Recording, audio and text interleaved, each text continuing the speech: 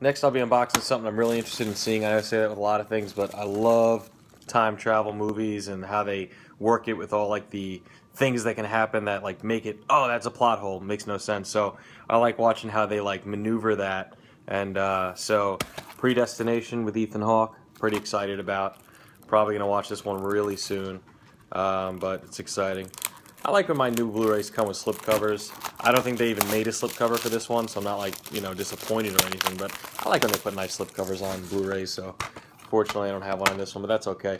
It's plain bare bones here, just the Blu-ray inside. Um, but that right there is Predestination with Ethan Hawke. Thanks for watching.